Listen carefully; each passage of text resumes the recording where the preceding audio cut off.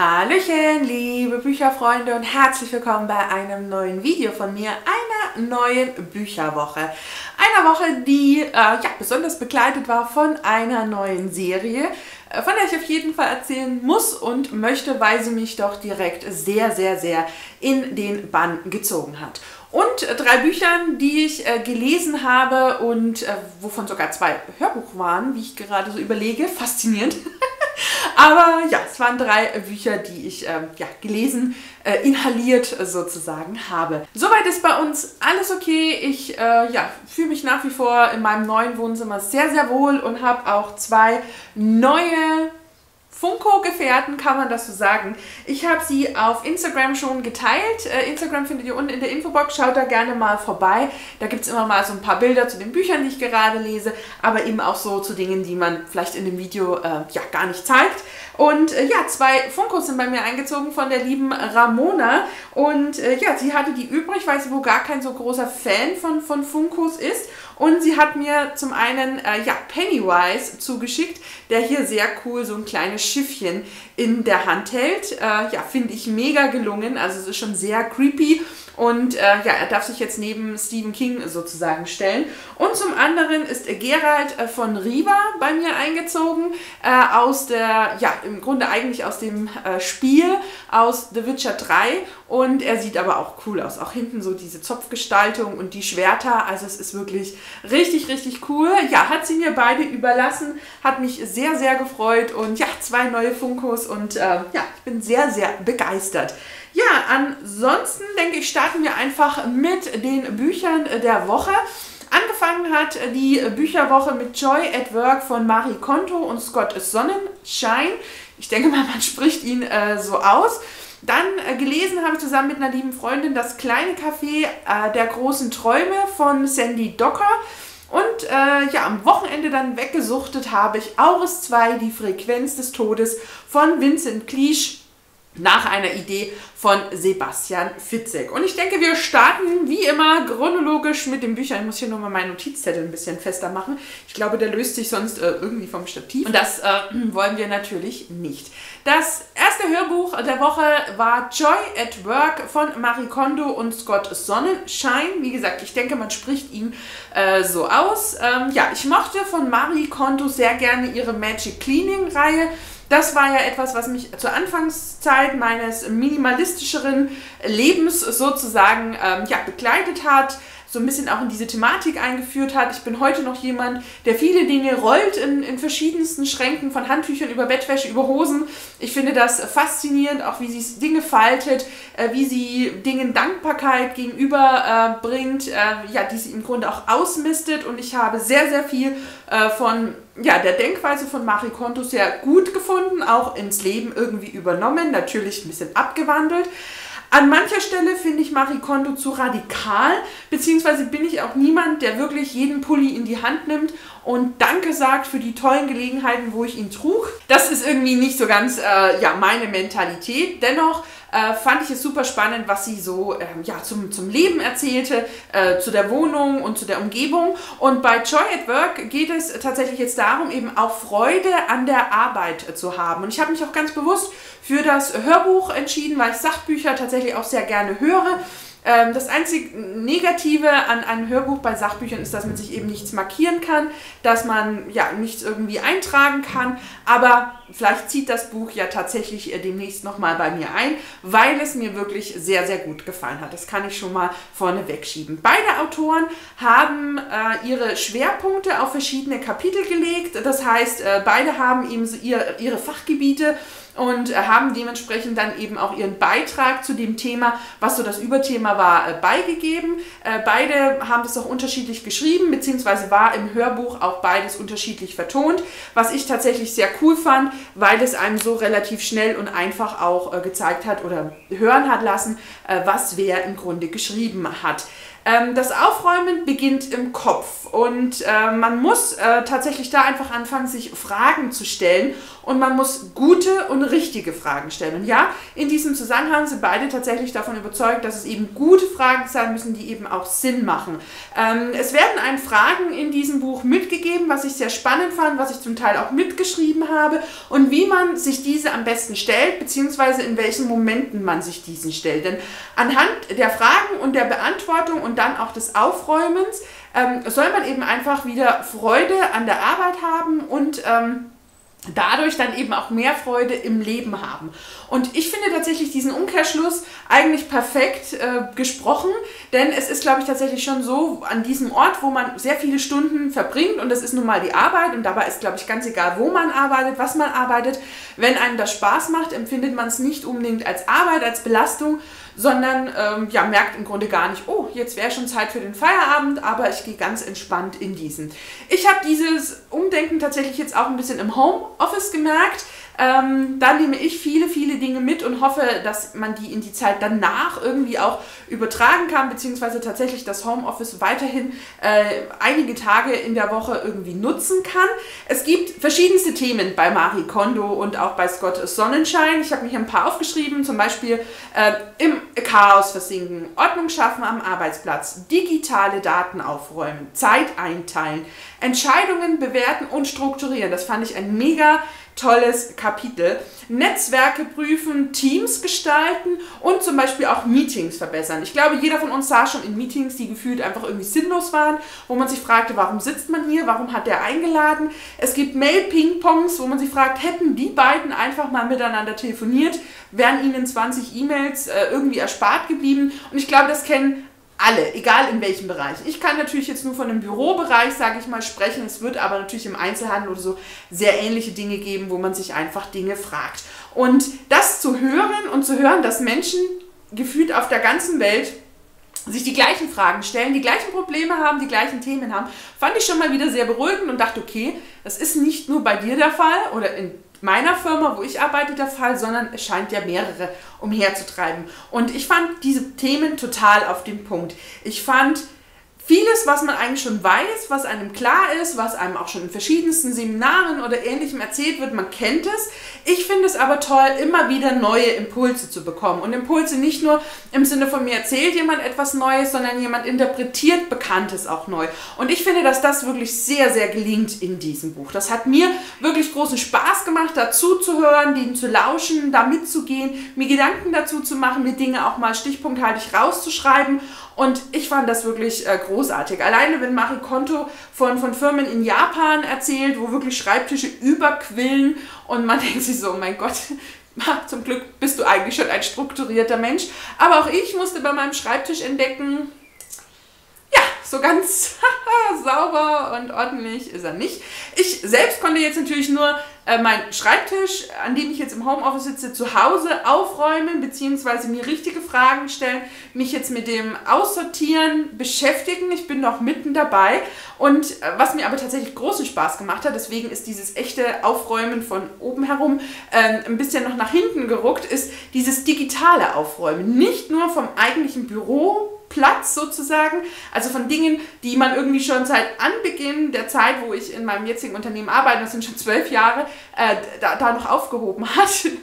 Ja, ja, wo ich auch dachte, eigentlich da fragt dich nie, also ich hoffe mal, es fragt mich jetzt nie jemand mehr danach, weil ich habe einiges tatsächlich einfach gelöscht. Und ich habe das auch auf meinem privaten PC gemacht. Also ich bin da Dinge durchgegangen, wo ich dachte, das hast du schon zehn Jahre auf der Festplatte, du hast es nie wieder gebraucht, weg damit. Und ich habe auch tatsächlich einen Ordner angefangen mit so einem vielleicht, wo ich einfach mal sage, ich habe da, da jetzt ein Datum dahinter geschrieben und dann will ich einfach mal ein halbes Jahr später, habe ich mir einen Merker gemacht und wenn ich da nichts gebraucht habe in dem halben Jahr, dann ja, viele Ideen fand ich, nimmt man mit und es wird einem sehr, sehr leicht klar gemacht, warum manche Verhaltensweisen wichtig sind und warum manche sich eben auch genauso verhalten, wie sie es tun und warum dann eben auch eine Veränderung eben einfach notwendig ist. Und wenn jeder so einen kleinen Schritt macht, dass das dann in der Gesamtheit eben ein großer Schritt ist. Ich fand auch, dass es sprachlich sehr gelungen war. Es war einfach, es war klar, es gab viele, viele Beispiele, was ich einfach wirklich toll fand, weil oftmals wird einem ja so ein theoretisches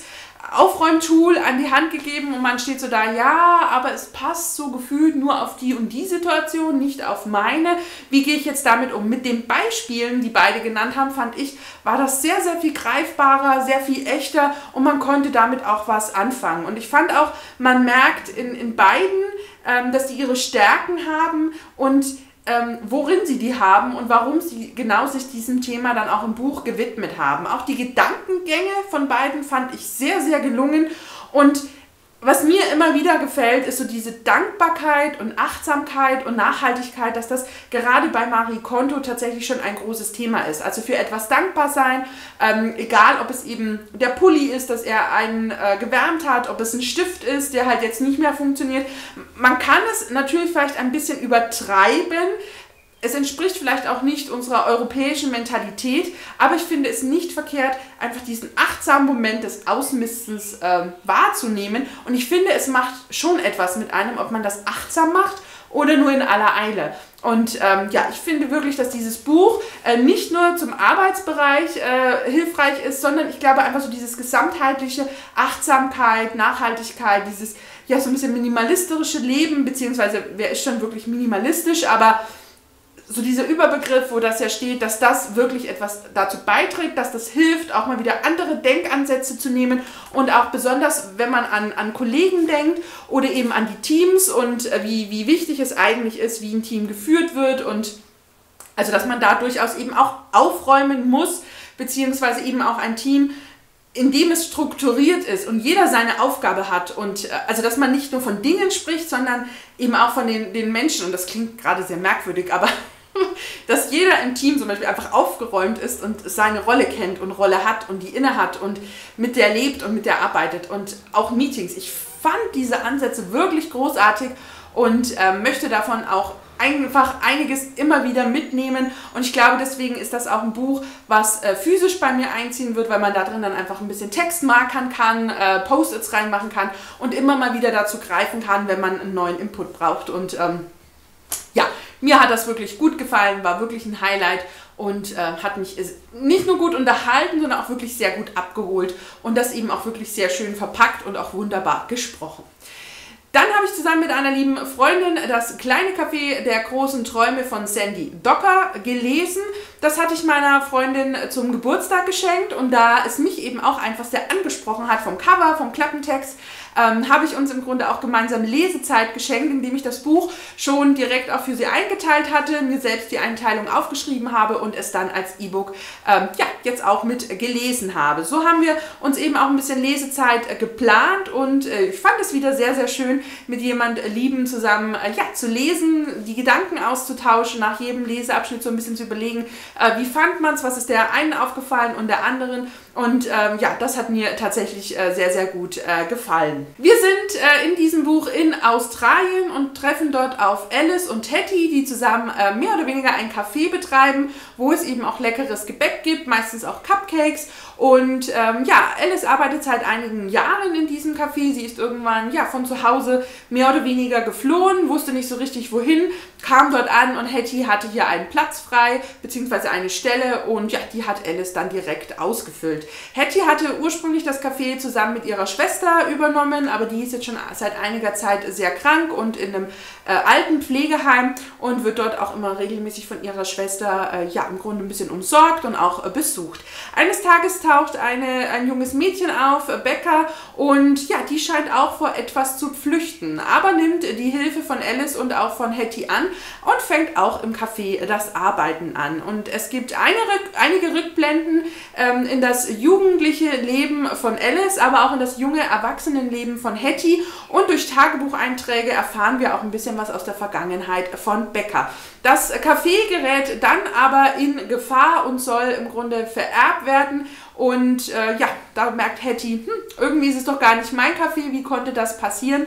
und äh, die neuen ähm, ja, Besitzer rufen einen relativ hohen Preis auf. Und so arbeiten wir an sehr vielen Geschichten. Zum einen sind wir im, im, im Jetzt bei den drei Frauen. Wir blicken in die Vergangenheit von zweien davon und haben eben auch die Zukunft so ein bisschen vor Augen, weil das Café in Sorge ist. Und ähm, ja, ein großes Thema ist definitiv schon Alice als, sage ich mal, Hauptcharakter, weil wir von ihrer Geschichte, von ihrem Leben äh, doch wirklich das meiste erfahren. Und hier kommen wir tatsächlich schon zum großen Kritikpunkt dieses Buches. Die Autorin wollte für meinen Geschmack viel zu viel. Es ist, sind Hauptgeschichten, es sind Nebengeschichten, es sind Zeitsprünge, es sind Nebencharaktere, es äh, taucht da nochmal irgendwie ein Ast auf und da geht nochmal eine andere Abzweigung. Also für mich war es an mancher Stelle viel zu viel, was geschah, viel zu viele Geschichten, die man irgendwie zusammenbringen musste, die man unterscheiden musste. Das war ganz okay, weil man immer eine Jahreszahl hatte und wo man gerade ist, beziehungsweise wer man gerade ist aber es war einfach zu viel. Ich war im ersten halben Buch total überladen mit Rückspringen von Hetty, mit äh, Rücksprüngen äh, von, von Alice, äh, dann gleichzeitig passierte in der Gegenwart Dinge, äh, gleichzeitig waren auch Dinge irgendwie so in der Schwebe, wo man noch nicht so richtig wusste, äh, wo das irgendwie mal hinführt. Es tauchten Nebencharaktere auf, die aber auch irgendwie eine Vergangenheit hatten. Und mir war das zu Beginn tatsächlich irgendwie zu, zu unübersichtlich, zu viel des Guten.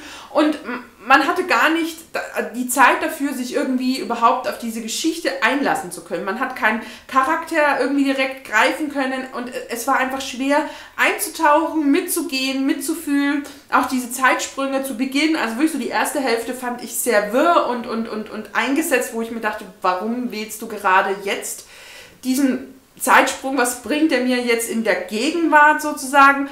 Ab der Hälfte wurde es tatsächlich besser äh, weil man sich doch ein bisschen mehr auf Alice konzentriert hat, was für mich tatsächlich so ein bisschen emotional die, die Geschichte auch abgerundet hat und mich mitgenommen hat. Also irgendwann hatte ich Alice als Hauptcharakter wahrgenommen und, und konnte mich an ihr festhalten, konnte dann auch ihre Rückblicke sozusagen mitnehmen und Dinge, die ihr eben im Leben passiert sind, die mich sehr, sehr berührt haben. Und das war für mich auch so der Switch in der Geschichte, wo ich mir dachte, ja, jetzt nach allem verwirrt sein, kommt hier irgendwie der rote Faden.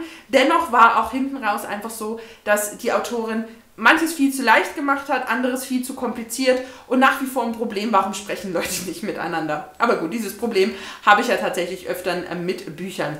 Es war an und für sich schon schön und locker und flüssig geschrieben. Es war auch sehr bildhaft geschrieben. Also gerade die Orte, das Café, was es da zu essen gab, die Menschen, das war alles sehr schön erzählt. Weswegen ich tatsächlich auch an der Geschichte dran geblieben bin, weil mir das eben trotz der Verwirrtheit zu Beginn sehr, sehr gut gefallen hat. Aber es passierte einfach zu viel. Und auch zu viel, wo man sich einfach fragt, naja, ob das wirklich alles so einem passieren könnte.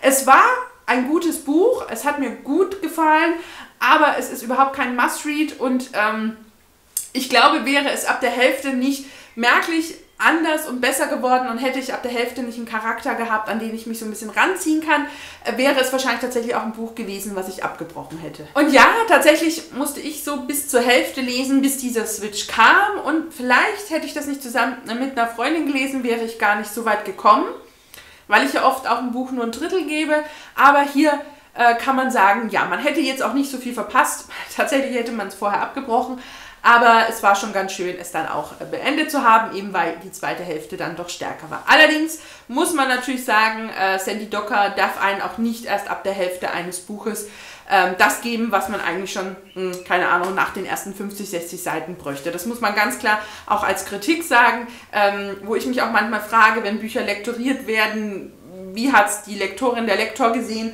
und ähm, also hätte man da nicht vorher schon so ein bisschen den Zug äh, enger schnallen müssen und vielleicht lieber 100 Seiten weniger, aber dafür schon die Spannungskurve viel, viel früher. Aber es war tatsächlich dann ab der zweiten Hälfte sehr emotional, sehr gefühlvoll. Es sind Dinge passiert, die, die, die mich auch sehr berührt haben. Ich habe auch ein Tränchen vergossen und ähm, es sind auch Dinge passiert, über die man eigentlich gar nicht nachdenken möchte. Ähm, ja, aber es war eine gute Geschichte mit eben ja, zwei, drei Kritikpunkten, äh, die ich tatsächlich schade fand, dass, dass, dass sie überhaupt äh, dann zur Kritik sozusagen führen.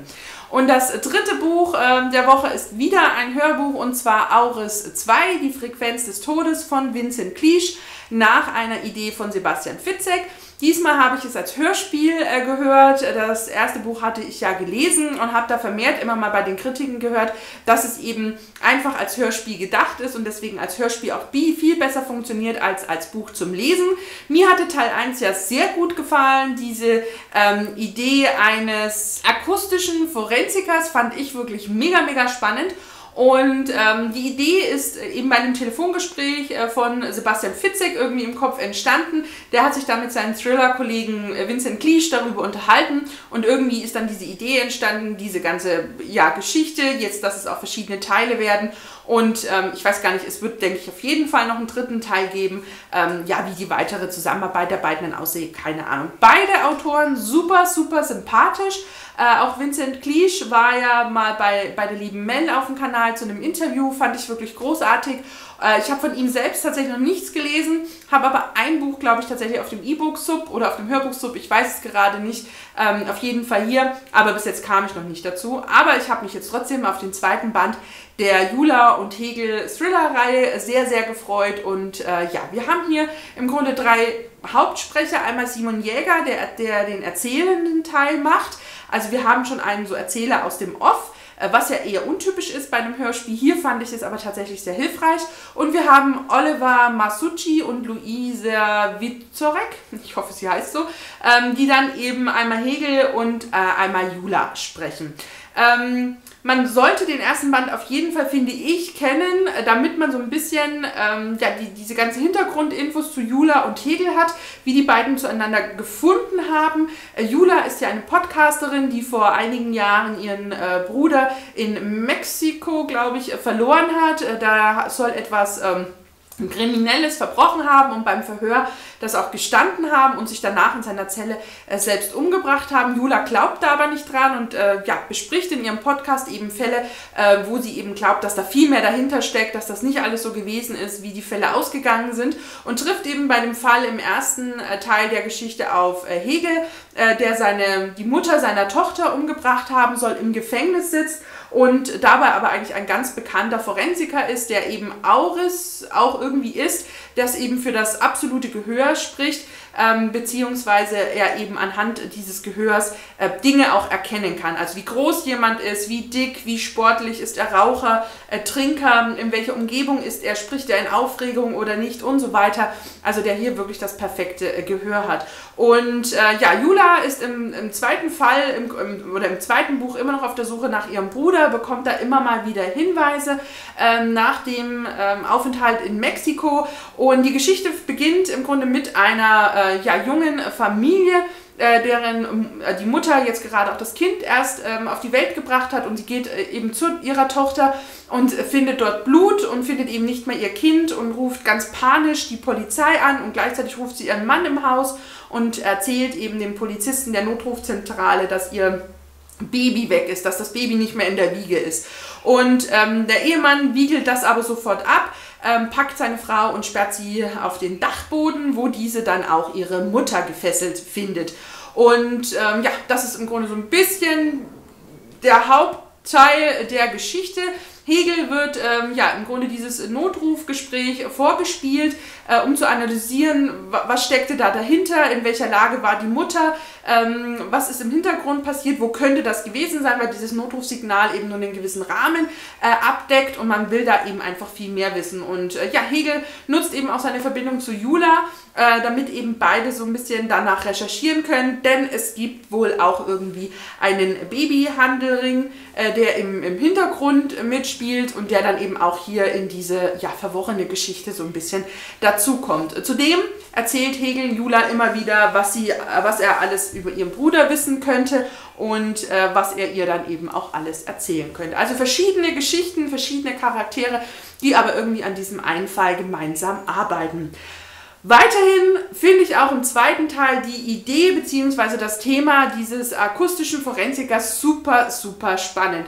Auch Hegel ist als Charakter wirklich jemand, ähm, den man irgendwie nicht durchschaut, wo man denkt, ha, jetzt habe ich ihn und dann kommt es doch wieder anders. Also das ist wirklich ein Charakter, der sehr schwer greifbar ist, aber man es ihm gar nicht übel nimmt, dass er eben nicht ganz so leicht greifbar bzw. durchschaubar ist. Und das äh, fand ich auch im zweiten Band von Auris sehr stark und sehr gut.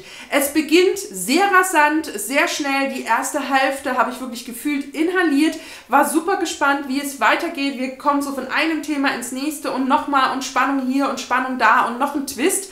Ähm, das ist tatsächlich am Anfang noch sehr reinziehend, hat eine große Sogwirkung. Allerdings fand ich, so ab der Hälfte ungefähr verlor sich die Spannung ein bisschen, beziehungsweise fand ich dann auch das Thema mit diesem Babyhandel und ähnlichem ein bisschen zu banal und fragte mich, warum wurde eigentlich so ein Wirbel ähm, um dieses Thema oder Themen, die im Nachgang kamen, äh, überhaupt gemacht. Und da kommt dann so ein bisschen Fitzek äh, dazu, wo man ja oft denkt, äh, der hat ja gerade gegen Ende seiner Geschichten oftmals Twists, wo man sich fragt, wo hast du denn das jetzt aus dem Hut äh, gezaubert? Ist ja tatsächlich was, was mir auch beim letzten Buch von Fitzek nicht so gut gefallen hat. Ähm, und eben auch so, ja, es ging hier wieder um Kinder, um Babys und äh, die Angst, die man wohl hat, oh, irgendwann denke ich, ja, das Thema ist jetzt dann auch mal in Ordnung. Und zudem ist es auch ein Thema, was mich eigentlich sehr mitnimmt. Aber das konnte es tatsächlich nicht ganz bei Auris 2. Es wurde tatsächlich auch an mancher Stelle zu viel ähm, an Story und auch an Twists und man konnte dem Gefühl manchmal auch gar nicht mehr so richtig folgen, beziehungsweise war es auch an mancher Stelle sehr absurd. Und das Ende war dann auch so ein bisschen, wo ich dachte, warum? Ganz klar, warum? Es war tatsächlich gut. Es war spannungsgelangen, es war ein Page-Turner. Ich finde, dass Vincent Cleach wirklich sehr flüssig schreibt, sehr spannend, ähm, dass er sehr schnell erzählt, vielleicht an mancher Stelle einfach zu schnell. Das war auch, glaube ich, mein Problem schon mit dem ersten Buch.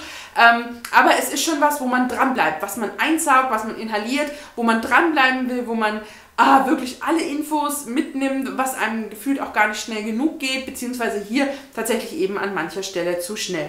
Zudem habe ich ein großes Problem mit Jula, die ich, mit der komme ich irgendwie nicht so richtig zurecht und ich werde auch nicht so richtig warm mit ihr, auch mit ihren Entscheidungen, mit ihren Gedanken, mit ihrem, wie sie dann auch danach handelt.